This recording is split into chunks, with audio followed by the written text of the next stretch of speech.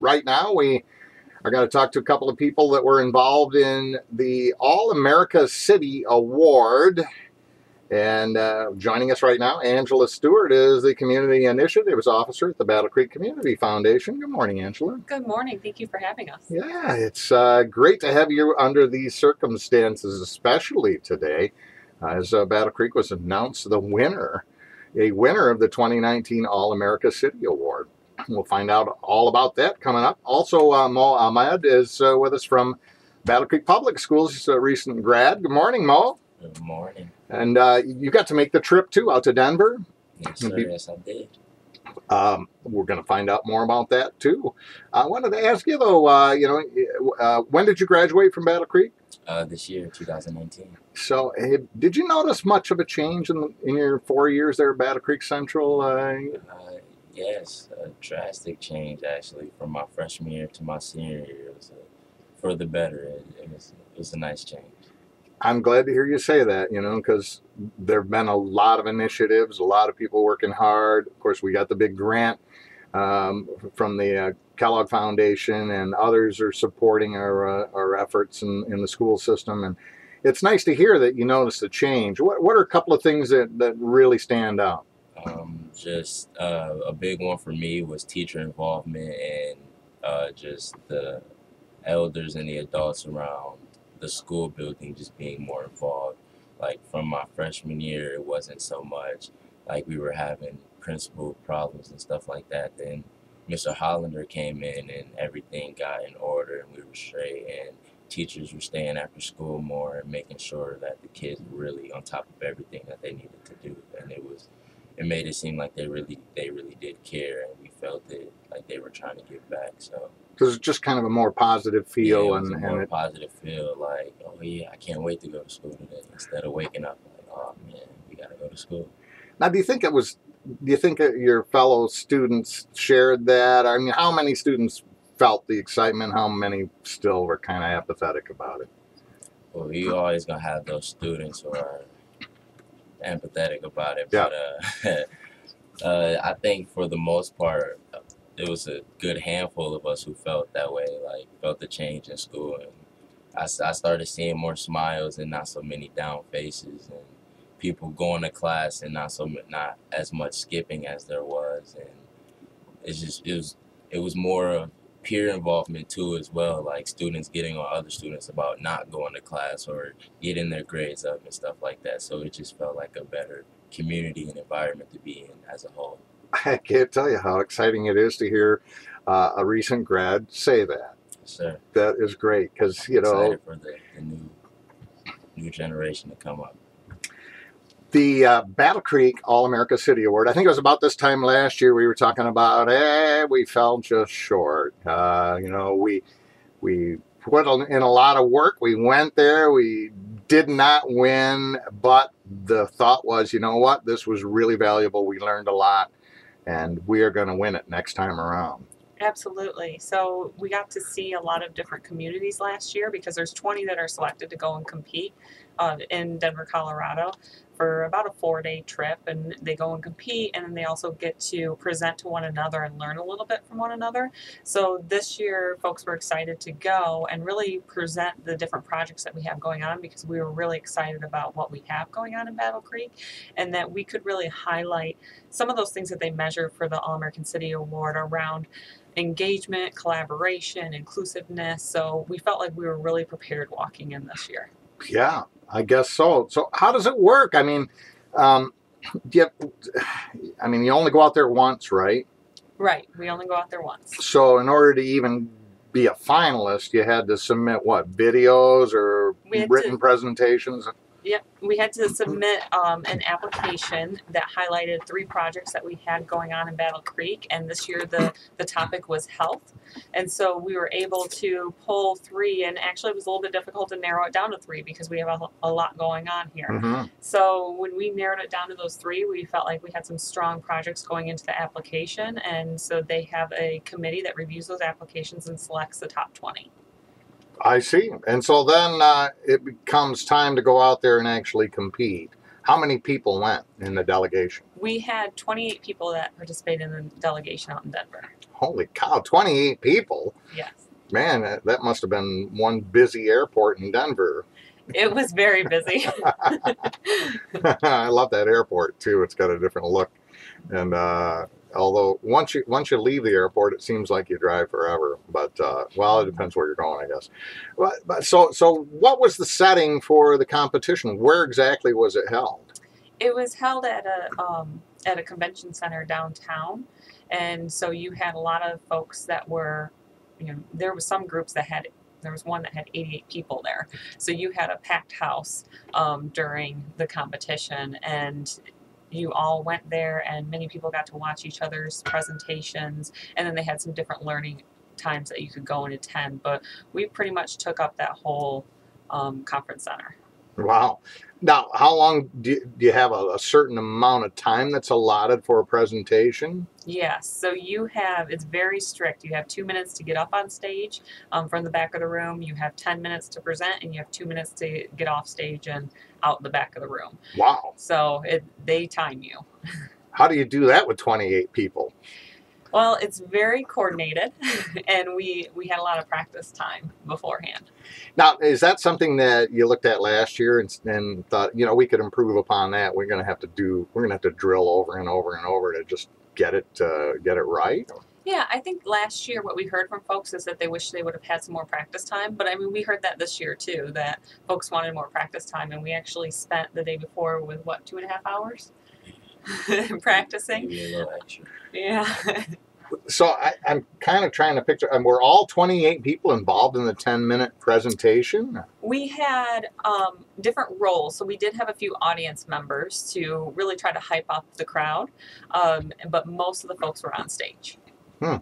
Wow. And so basically, you highlighted three programs, and, and we're going to talk about those a little bit, but uh, did you kind of divide it up three minutes each, or what? I mean, how did that work?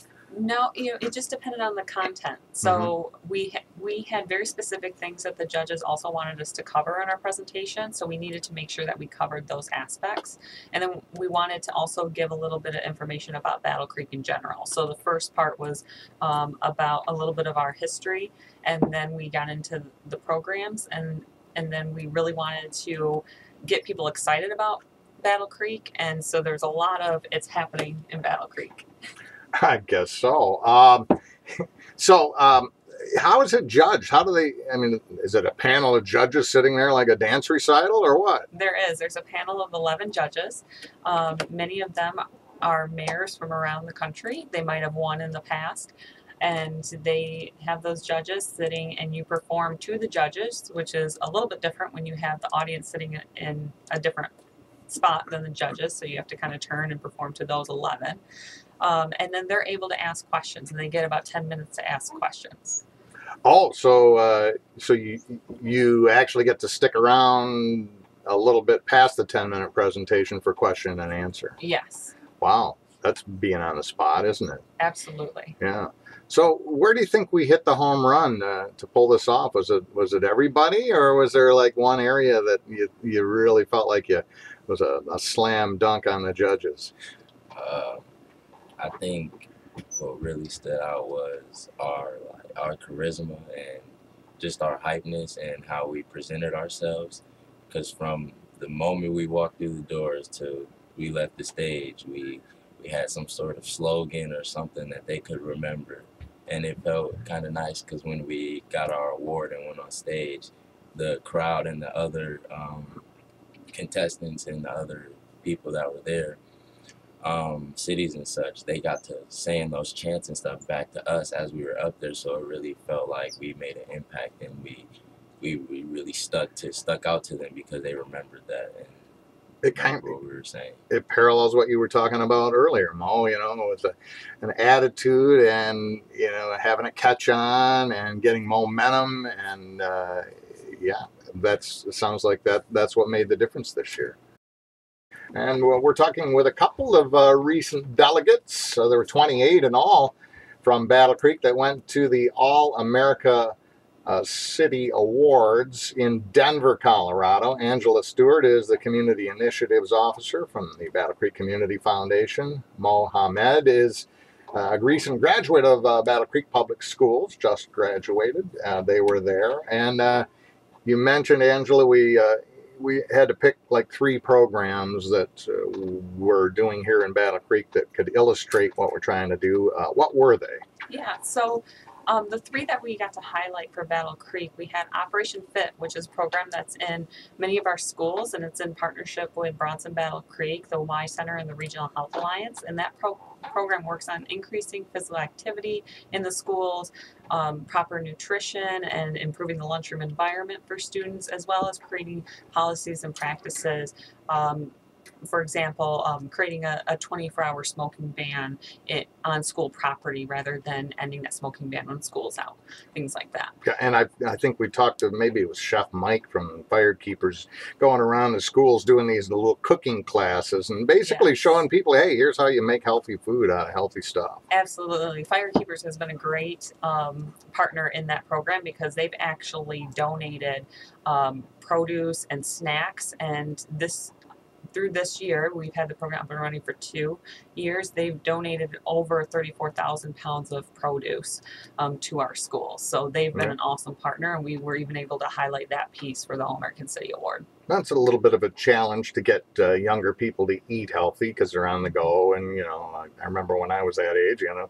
But uh, Mo, you're an athlete. You have to take care of yourself. Uh, how would you rate yourself? Uh, and has uh, this program had any impact on your habits?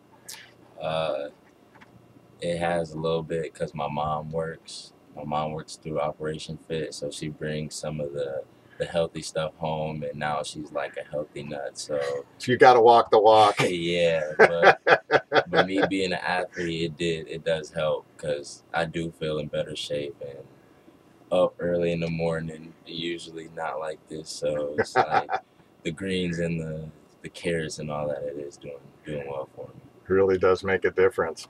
Uh, what was another area? So the CIT program, which is the Crisis In- Intervention Team, and that's a partnership with Summit Point and the Battle Creek Police Department, where they're training officers on how to identify um, mental illness and also address it out in the field. And so they had some other partners that went with them.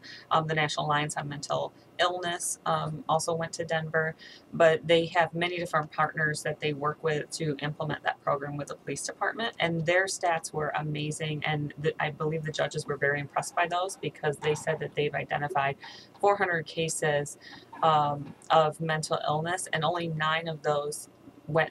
Um, were arrested and went to jail, um, which normally you would have seen much higher numbers within that 400.